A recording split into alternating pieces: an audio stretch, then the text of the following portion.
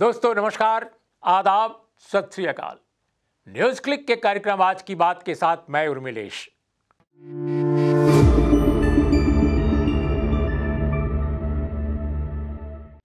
दोस्तों, जब मैं आपसे बात कर रहा हूँ, उसके कुछ ही देर बाद सुप्रीम कोर्ट ऑफ़ इंडिया में महाराष्ट्र के मसले पर सुनवाई शुरू होगी। सुनवाई देर से, देर तक चल सकती है, जल्दी खत्म हो सकती है। फैसला जल्दी आ सकता है, फैसला थोड़ा विलंब से आ सकता है, कोई नहीं जानता। कोर्ट के बारे में कोई प्रडिक्शन करना संभव नहीं है। लेकिन मसला क्या है? मसला यह है कि अब सरकार के जाने की बात लगभग तय हो चुकी है। क्योंकि सरकार के बचने की उम्मीद तभी होती जब दल बदल विरोधी विधेयक, सत्ताधारी दल उसको कानून के हिसाब से कार्रवाई कर पाता। यानी दल को छोड़ने वाले, दल के विप को न मानने वाले विप जारी होगा कल के लिए, अगर फ्लोर टेस्ट होता है। और उसको जो नहीं मानते, जो विधायक, उन पर अगर विप लागू होता तो अपने आप उनकी मेंबरशिप चली जाती। इसके अलावा 16 लोग, जो लोग रिबेल हैं, बगावती हैं, जिन्होंने पार्टी के नेतृत्व के खिलाफ बगावत कर रखी है, उन पर सुप्रीम कोर्ट ऑफ़ इंडिया का मसला अभी तक विचारार्थ है।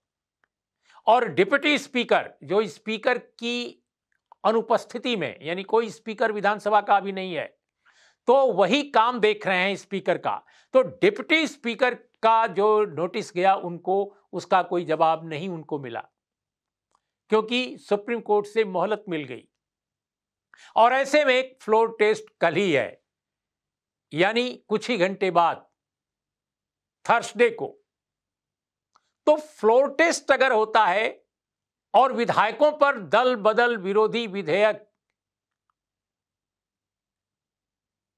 के मातहत कोई कार्रवाई नहीं अगर हो पाती, खासकर बागी विधायकों के खिलाफ तो इस सरकार का बचना नामुमकिन है। यह बात बिल्कुल दावे के साथ कही जा सकती है। तो अब असला, असल मसला यही है कि क्या सुप्रीम कोर्ट ऑफ़ इंडिया में आज फ्लोर टेस्ट के बारे में कोई ऐसा फैसला आएगा? जिससे कि राज्यपाल का जो आदेश है, वो निरस्त हो जाए। मैं जोखिम लेकर यह कह सकता हूँ कि इसकी उम्मीद भी कम है। हालाँकि किसी भी कोर्ट के फैसले के बारे में कुछ भी भविष्यवाणी करना ठीक नहीं होगा। लेकिन आमतौर पे हमारे देश की जो संवैधानिकता है, जो विधायिका के नियम कानून है, उसके हिसाब से बहुमत और अल्पमत का फैसला किसी भी सरकार का वो सदन के फ्लोर पर होता है और होना चाहिए। ये सुप्रीम कोर्ट के भी कई फैसले इस पर आ चुके हैं। एक समय था कि स्वयं शिवसेना और उसके नेतृत्व वाला गठबंधन ये कहा करता था कि फ्लोर टेस्ट हो, फ्लोर टेस्ट हो, क्योंकि उसको ये अंदाज़ा था कि वो टेंथ शेड्यूल की रोशनी में जो बागी विधायक हैं उनको अपनी पार्टी के दायरे से अलग कर देगा, उनके खिलाफ कार्रवाई कर देगा और एक्सपल्सन जब उनका होगा तो अपने आप सदन की संख्या गिर जाएगी, कम हो जाएगी। और सदन की संख्या कम हो जाने पर उनको बहुमत मिल जाएगा। लेकिन भारतीय जनता पार्टी ने शुरू में जिसने कहा था कि इस पूरे विद्रोह में उसकी कोई भूमिका नहीं है, हालाँकि सभी लोग जानते थे कि भारतीय जनता पार्टी का ये वक्तव्य कितना हास्यास्पद है, क्योंकि सारे के सारे विधायक पहले गुजरात के सूरत ले जाए गए गुजरात के सूरत से वो असम ले जाए गए। दोनों जगह सरकारें भारतीय जनता पार्टी की। और यही नहीं, गवर्नमेंट मशीनरी जो दोनों स्टेट की है वो लगी रही। असम के तो चीफ मिनिस्टर साहब होटल की, होटल का मुआयना सुबह सुबह किए कि जो विधायक आ रहे हैं शिवसेना के, उनकी खातिर बात में कोई कमी न रह जाए। उनकी उनकी उनकी जो देखभाल है, उसका जायजा उन्होंने लिया। तो बिल्कुल क्लियर था कि भारतीय जनता पार्टी ही इसके पीछे है। और अब अब तो ये स्थिति है कि मुंबई पहुँचने वाले जो विधायक हैं, कहा जा रहा है कि उनको बाकायदा एयरपोर्ट तक असम के कैबिनेट मिनिस्टर एस्कॉट कर रहे थे। असम सरकार की बसें थीं। असम सरकार के बहुत सारे लोग थे पार्टी के। तो ये स्थिति आज हम देख रहे हैं। ऐसे में दोस्तों जो शिवसेना सरकार है, उसके जो भाग्य का जो फैसला होना है, उसमें केवल दो पहलू अब बचे रह गए हैं। पहला पहलू कि क्या फ्लोर टेस्ट में कोई ऐसी अप्रत्याशित स्थिति पैदा हो जाए?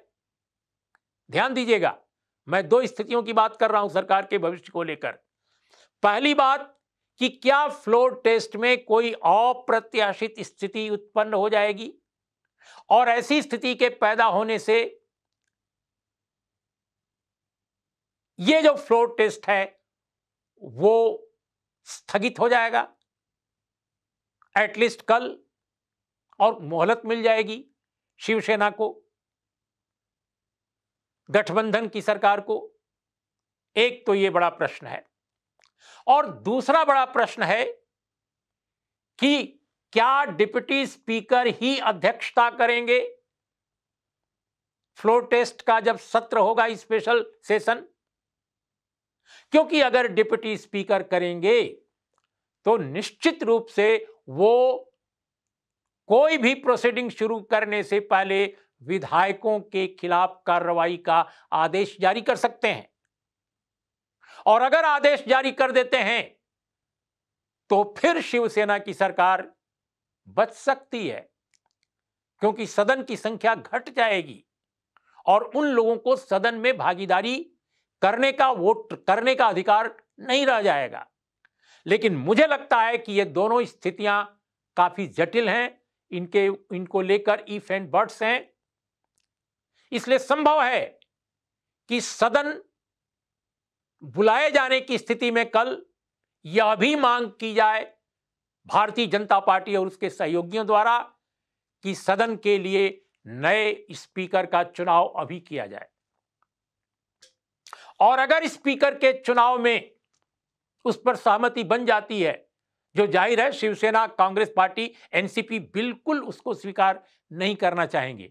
लेकिन अगर सूरत हाल ऐसा हो जाता है कि स्पीकर का चुनाव हो तो स्पीकर के चुनाव में ही दोस्तों सरकार के भाग्य का फैसला हो जाएगा। अगर स्पीकर भारतीय जनता पार्टी खेमे का या शिवसेना के रिबल खेमे का बन जाता है तो अपने आप ये सरकार गिर जाएगी क्योंकि बहुमत के फैसले में बहुमत के परीक्षण में उसकी संख्या भारतीय जनता पार्टी शिवसेना रिबल और अन्य के आ, से काफ़ी कम हो जाएगी। तो ये महाराष्ट्र का सूरत हाल है। लेकिन असल कहानी क्या है? जो आज के शो में मैं आपके समक्ष रखना चाहता हूँ दोस्तों। अभी तक मैंने सूरत हाल की स्थिति आपके सामने रखी, जो सूरत हाल है, उसकी क्या उससे क्या निकल सकता है? लेकिन दोस्तों, आज के एपिसोड में मैं आपको बताना चाहूँगा कि दरअसल ये केवल सरकार का खेल नहीं है। यह सरकार के बनने और बिगड़ने का खेल केवल नहीं है। उद्धव ठाकरे की अगुवाई वाली गठबंधन सरकार को अपदस्थ करके भारतीय जनता पार्टी। उसकी पूरी कोशिश है कि महाराष्ट्र की एक पुरानी क्षेत्रीय पार्टी, एक मज़बूत क्षेत्रीय पार्टी, जिसका मुंबई थाने, नासिक से लेकर महाराष्ट्र के अनेक इलाकों में बेस है, उसको कैसे पूरी तरह बर्बाद किया जाए? कैसे पार्टी को ही एक तरह से डिसमेंटल कर दिया जाए डिस्ट्रॉय कर दिया जाए और उस पर बागियों का कब्जा हो जाए जो भारतीय जनता पार्टी के अपने लोग हों। क्योंकि एक नाथ शिंदे से ज़्यादा अपना आजकल कौन है? भारतीय जनता पार्टी का। तो एक नाथ शिंदे की अगुवाई वाले शिवसेना को वास्तविक शिवसेना का दर्जा अगर चुनाव आयोग से मिल जाता है कल्पना कीजिए। तो एक नाथ शिंदे की शिवसेना शिवसेना का जो मुंबई में बड़ा मुख्यालय है, और जितने महाराष्ट्र के शहरों में शिवसेना की ज़मीन जायदाद, कार्यालय, फंड, पार्टी फंड, सब पर एक तरह से कब्जे की लड़ाई शुरू हो जाएगी। और ये भारतीय राजनीति में कोई नई बात नहीं होगी। हमने बहुत पहले देखा है, हमने बहुत पहले देखा है कि किस तरह कांग्रेस पार्टी में जब विभाजन हुआ था, तब भी जो पार्टी का मुख्यालय था, जो पार्टी का फंड था, जो पार्टी की अन्य जो एसेट्स थे उनको उन पर कब्जे की लड़ाई कैसे तेज हुई थी? हमने वो दौर भी देखा है। जनता पार्टी के साथ देखा है। तो इसलिए दोस्तों, लड़ाई सिर्फ़ सरकार बनाने, बिगाड़ने की नहीं है। सरकार तो अब देवेंद्र फडणवीस की अगुवाई में भारतीय जनता पार्टी सरकार बनाने पर आमादा है। और उसने जितनी बार जिद की, विपक्ष की सरकार को उलटकर अपनी सरकार बनाने की, हर बार लगभग उसकी जिद पूरी हुई। सिर्फ़ राजस्थान एक ऐसा स्टेट है जहाँ उसकी जिद पूरी नहीं हो पाई। बड़ी कोशिश की थी, लेकिन राजस्थान के एक बड़े नेता जो केंद्र में मंत्री हैं, उनके शब्दों में अगर मैं कहूँ तो क्या करें? सचिन पायलट ने साथ नहीं दिया। तो सिर्फ़ राजस्थान एक अपवाद है, जहाँ पर सरकार को गिराने में वो सफल नहीं हुई और अपनी सरकार नहीं थोप सकी। लेकिन महाराष्ट्र में स्थितियाँ उसके पक्ष में हैं। यहाँ कोई सचिन पायलट नहीं है। यहाँ सब के सब जितने रिबल हैं, सब एक नाथ शिंदे अभी तक दिखाई दे रहे हैं। ऐसे में यह बहुत संभव है कि सरकार पलटने की लड़ाई में सफल होने के बाद, अपनी सरकार बनाने के बाद, उद्धव ठाकरे की शिवसेना पर बाला साहब ठाकरे की शिवसेना पर एक नाथ शिंदे की शिवसेना को कब्जा दिला दिया जाए। असल खेल यह है। और दूसरी बात, इससे जुड़ी बात, मैंने अपने पिछले एपिसोड में भी इसकी चर्चा की थी कि यह हड़बड़ी इसलिए भी है क्योंकि चौदह बड़े कारपोरेशन का चुनाव है। इंक्लूडिंग मुंबई के नगर महापालिका, जिसका बजट छत्तीस हज़ार करोड़ के आसपास है। कई राज्यों की सरकारों से ज़्यादा तो उस पर भी कब्जे की लड़ाई है। इसलिए दोस्तों, सुप्रीम कोर्ट में आज शाम, देर शाम जो सुनवाई चल सकती है, उसका क्या फैसला होगा, ये तो हम नहीं कह सकते। लेकिन इतना ज़रूर है कि अगर फ्लोर टेस्ट राज्यपाल जिसका आदेश किया है जिन्होंने, अगर उस, उनके मुताबिक ही उनके डायरेक्टिव के हिसाब से चीज़ें चलें और दल बदल विरोधी विधेयक लागू न किया जा सके तो यकीनन उद्धव उद्धव ठाकरे की सरकार जा रही है। इसमें कोई दो राय नहीं है। अब देखना है कि शिवसेना किसके पास बचती है। उद्धव ठाकरे की शिवसेना, क्या वाकई एक नाथ शिंदे की शिवसेना हो जाएगी? असल बीजेपी की लड़ाई यही है। नमस्कार आदाब सत श्री अकाल।